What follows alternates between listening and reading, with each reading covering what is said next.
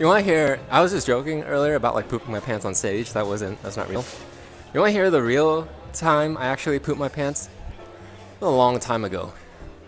I was I was a lot younger back then. To be fair, I remember I was playing. Uh, oh, I was playing my uh, senpai's cat game, and uh, and and and I and I could feel it. I could feel it happening. I think I had like some some food. sushi or something, right? And I could feel it, you know, churning inside. And I was like, I just, it's really addicting, this cat game. Uh, you like, you know, manage little cat citizens and villagers, right? And you build up and you, you know, attack and defend and enemies and stuff.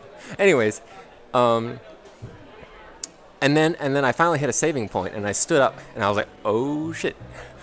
And I did that, you know, you know, you do that waddle right, where you can't you can't run because you because if you run the the shit's gonna you know go all the way out. So i did that like you know like that you know kind of like that to try to keep my anus level you know the whole time. Um, and i didn't make it. It looked like a little pancake. Yeah. But yeah, I don't remember much of the story. I've wiped it from my memory. Also, it was a long time ago. It was almost like three weeks ago or something. um,